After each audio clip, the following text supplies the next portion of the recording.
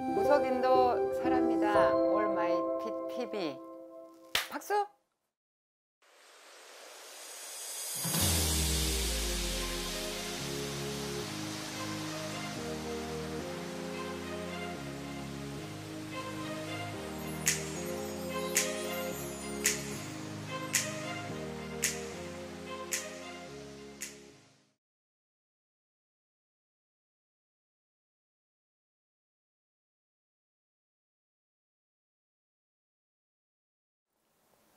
내가 이 신당을 이 어떻게 보면 저기 자기가 원하는 삶을 살아요 지금? 할줄 아는 게 딱 한 가지밖에 없어. 공부밖에 없다면 어떡할래?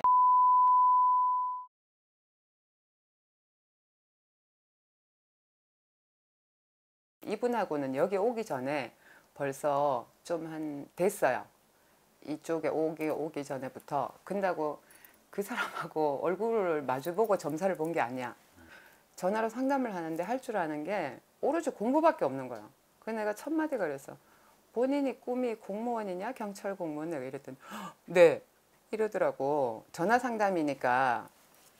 근데 이 사람은 참 어떻게 보면 운이 좋은 케이스예요. 왜? 나를 만났으니까.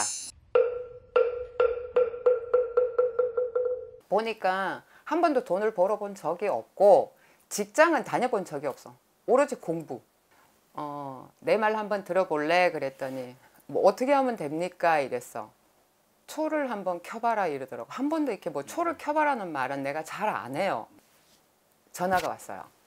선생님 저요 초가 마련했는데 어떻게 할까요? 그래갖고 사주를 넣어서 정확하게 다시 봤어요. 그래 비는 데는 장사 없다고 내가 이 사람이 나는 그 마음으로 이 사람을 초 발언을 하면서 얼굴을 보진 않았지만 차에 뒤에 트렁크에 막 여기 신나게 기도하잖아요. 트렁크에다가 초를 한 박스를 실어놔. 그러기를 한 달에 심하면 초를 열 번을 켜준 경우도 있고 작게 켜도 다섯 번. 그러고 오로지 매달렸어 나는. 내가 가는 온 산천을 진짜 막 찾아다니면서 이 사람은 오로지 그래도 참 고마운 게 내 말 한마디에 따라왔다는 거에 나는 고맙고 정말 간절했어. 나를 믿고 왔으니 그러면 정말 뭐 어디 나올 돈이 없으니 내가 해줄 수 있는 거는 마음밖에 없는 거야. 신한테 비는 거. 그러니까 온 근 한 1년 가까이를 오로지 다른 사람도 열심히 빌, 빌었지만 이 사람은 정말 운이라는 자체가 없어. 그래.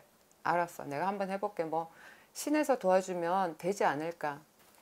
그날부터 내가 신령님한테 있잖아. 할머니 할아버지가 이렇게 하라고 해서 나는 한 죄밖에 없습니다. 그래서 쉽게 말하면 생떼를 썼어요. 신령님한테. 할머니 할아버지가 하라 그래서 나 했을 뿐인데 안 주면 안 되지.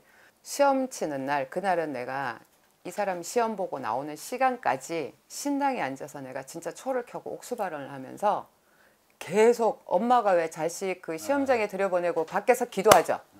시험 치고 나오는 시험 다 치고 나왔습니다 하는 순간까지 기도를 하고 발표는 좀 이따 난다 하더라고요. 그러고 나서 이제 나한테 연락이 왔더라고.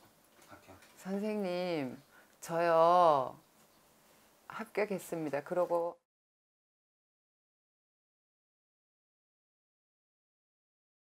나는 보면은 사람들이 오면 진짜 운이 없다 그러잖아. 운이 없는데 운이 없는 게 아니라 그럴 때는 신에서는 그러더라고. 아, 얘는 정말 자기가 자기를 빌어주는 사람.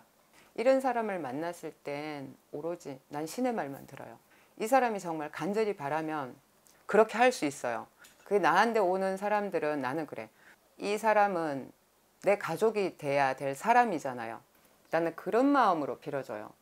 제가 만약에 나라면 어떻게 어떤 마음으로 해줘야 될까? 바빠서 못 오면 나는 내가 절을 하면서 나는 할머니 신령님께 그래. 할머니 할아버지 바빠서 못 오니 내가 하는 절은 제가 하는 게 아니고 그 사람이 와서 하는 절입니다. 내가 108배를 드리면 그 가족이 와서 하고 그러니 절어 보지 마시고 지금 절하는 순간만큼 비는 순간만큼은 그 가중에서 와서 한다고 그 마음으로 받아주시면 안 되겠습니까? 하고 내가 절을 하고 막 빌어요. 나는 그런 마음으로 나한테 오는 사람은 그렇게 가야 된다고 생각하고 비는 데는 장사 없다고. 진짜 비니까 계란으로 바위를 치니까 바위가 깨지더라 이거지.